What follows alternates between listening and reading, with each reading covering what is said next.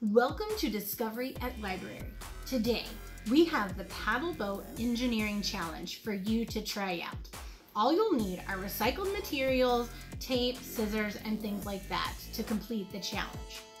Your first step is to create a structure that would float on top of water.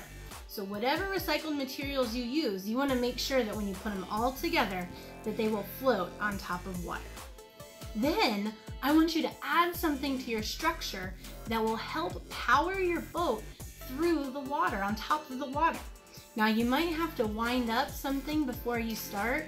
You might use wind to make it go, but your job is to create something that will power your boat on top of the water without you touching it. The challenge is yours. We're excited to see what you can come up with.